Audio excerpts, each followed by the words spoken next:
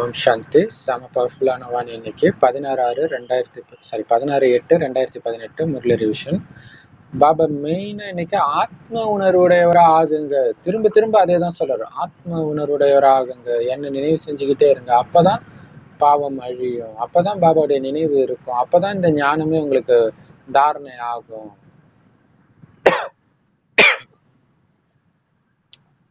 மனிதர்கள் ஆத்மாவே பரமாத்மான்னு நினைச்சிட்டதுனால பரமாத்மா மாதிரி ஆத்மாவிலையும் எந்த பாவ புண்ணியமும் ஒட்டாதுன்னு நினைக்கிறாங்க.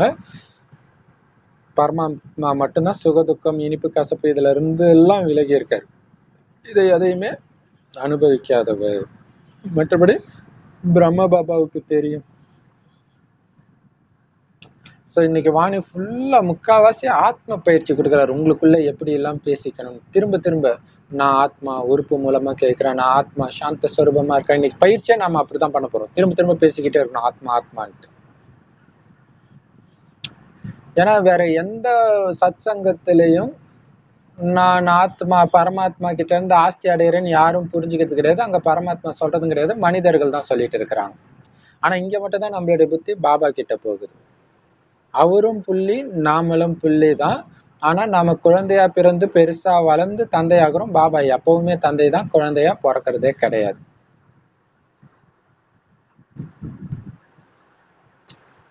வேதங்கள் கீதை அனைத்தையும் மனிதர்கள் தான் எழுதுறாங்க.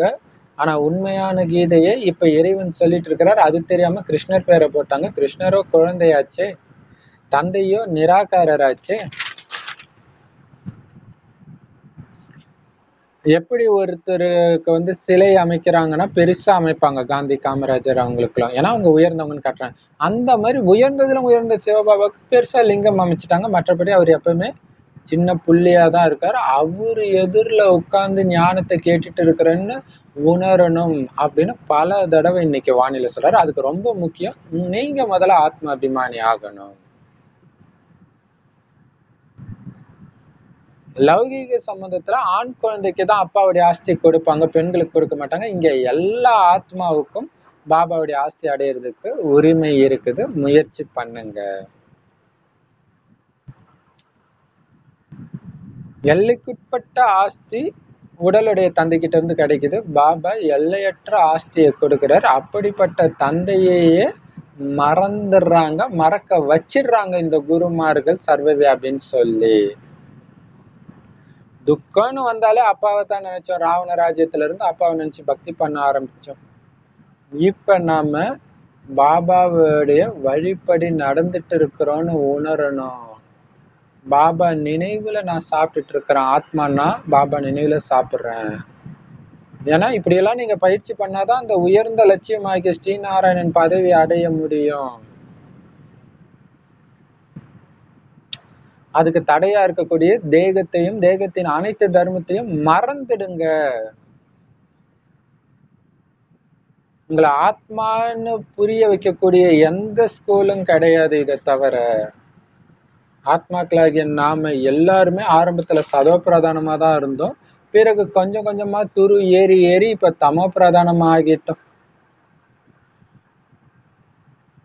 இப்ப எல்லோரையும் மீண்டும் தூய்மை ஆக்குறது ஒரு சிவபாபா தான். மம்மா கூட சிவபாபா கிட்ட நான் கேட்டதைத்தான் உங்களுக்கு சொல்றேன்னு சொல்றாரு. அதன் மூலமா தான் நமக்கு முக்தி ஜீவன் முக்தி கிடைக்குது.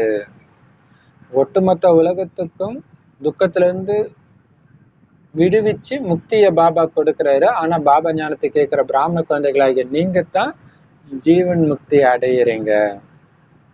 சொர்க்கத்துக்கு வரீங்க. அந்த சொர்க்கத்துல மற்ற தர்மஸ்தாபகர்கள் யாரும் வரமாட்டாங்க. நரகத்துல தான் அவங்க வந்து மறுபிறவை எடுத்து எடுத்து எல்லோரும் தம பிரதானமாயிடுறாங்க. ஸோ எல்லாருக்கும் முக்தி ஜீவன் முக்தி கொடுக்கிறவர் சிவபாபா தான். இப்ப மோசமான நரகமா இருக்குது. இங்க பாவம் செய்யக்கூடாதுன்றதுக்காக கருட புராணத்துல நிறைய இன்ட்ரெஸ்டான விஷயங்கள் பயமுறுத்தக்கூடிய விஷயங்களை எழுதி வச்சுட்டாங்க. பிரம்மா மூலமா பாபா கொடுக்குற ஞானத்தின் மூலமா தான் நாம சூரிய வம்ச சந்திர வம்சத்தினரா ஆகிறோம். தேவதைகள் தான் உண்மையிலே உயர்ந்தவர்கள் மனிதர்கள் தேவதைகளுக்குரிய பட்டங்களும் தேவதைகளை உருவாக்கக்கூடிய சிவபாபாவுடைய பட்டத்தையும் தனக்கு பின்னாடி வச்சுக்கிறாங்க ஜெகத் மாதா ஜெகத் பிதான் அந்த நிர்விகாரி லக்ஷ்மி நாராயணன் எங்க? இங்க லக்ஷ்மி நாராயணன் பேர் வச்சுக்கிறவங்க எங்க? அந்த மாதிரி முட்டாளா இருக்கிறாங்க.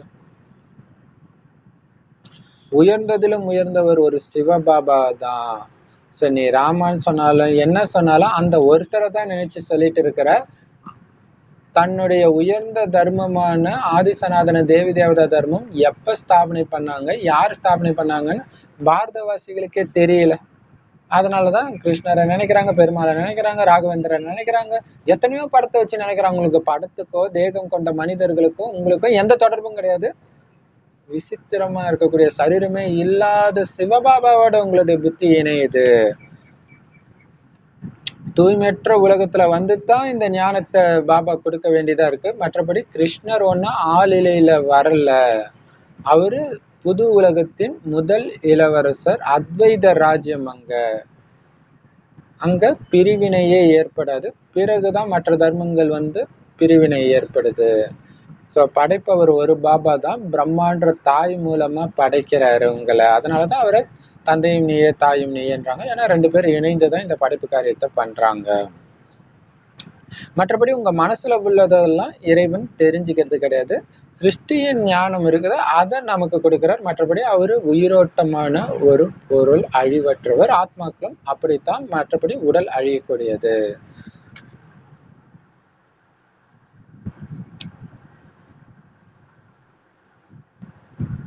பாரதம் தான் பகவானுடைய ஜென்ம பூமி மிக உயர்ந்த பூமி. லக்ஷ்மி நாராயணன் ராஜ்யம் நடந்த பூமி இது. வரதானத்துல பாபா சொல்றாரு இது சும்மா ஆத்மா பரமாத்மாவை பற்றி ஒரு ஒரு உயிரோட்டமான உயிரோட்டமே இல்லாத ஒரு போர் அடிக்கிற ஞானம் கிடையாது. மிக சுவாரஸ்யமான ஞானம். ஆனால் தினம் தினம் புது புது பாயிண்ட் கொடுக்குறாருல அதை அசப்போட்டு அதை ஞாபகம் வச்சு அந்த அதுல வர உங்களுடைய டைட்டில ஞாபகம் வச்சுக்கிட்டே இருங்க. இந்த ஞானத்தை சிந்தனை பண்ணிக்கிட்டே இருங்க. அப்போதான் நிரந்தரமா குஷியா இருப்பீங்க. உங்களை அதிர்ஷ்டம் நிறைந்தவர்னு சொல்ல முடியும். ஏன்னா பாபா அப்படித்தானே ஒரு நேரம் சலவைக்காரராகி உங்களை துவைக்கிறார் ஒரு நேரம் தோட்டக்காரனாகி முள்ள மலராக்குறார். ஸோ அந்த மாதிரி தன்னை நினைக்கிறார் இல்லை?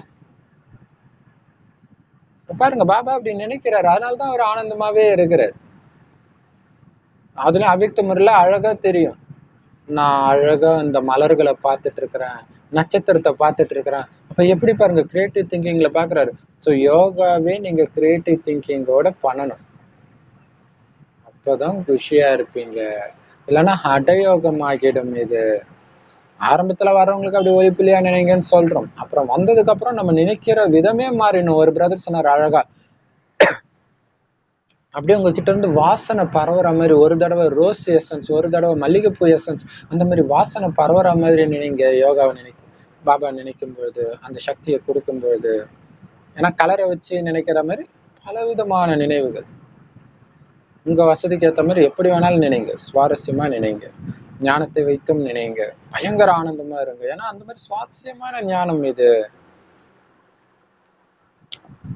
ஸோ எந்த குழந்தையுடைய நாடி நரம்பில் ஒவ்வொரு சுவாசத்திலையும் ஒவ்வொரு எண்ணத்திலையும் ஒவ்வொரு பேச்சிலையும் ஒவ்வொரு பார்வையிலும் கூட சேவை மட்டுமே நிரம்பி இருக்குதோ சேவைக்கான எண்ணம் மட்டும் நிரம்பி இருக்கோ மற்றவங்களை மாற்றணும் பாபா வெளிப்படுத்தணும் என்னுடைய நடத்தையின் மூலமாக அந்த குழந்தை பாபா குழந்தைய மாறணுன்ற அந்த சுப பாவனை இது மட்டுமே நிரம்பி இருக்குதோ அந்த குழந்தை தான் உண்மையான சேவாதாரி அப்படி ஆகுங்க. அப்படின்னு பாபா செம பவர்ஃபுல்லான வாணி இன்னைக்கு சொல்லியிருக்காரு. அவசியம் full முரளியை PK Murali sorry PK Saravana dot காம்ல பாருங்கள் ஓம் சாந்தி. Love you, Bhavdada. Thank you, Bhavdada.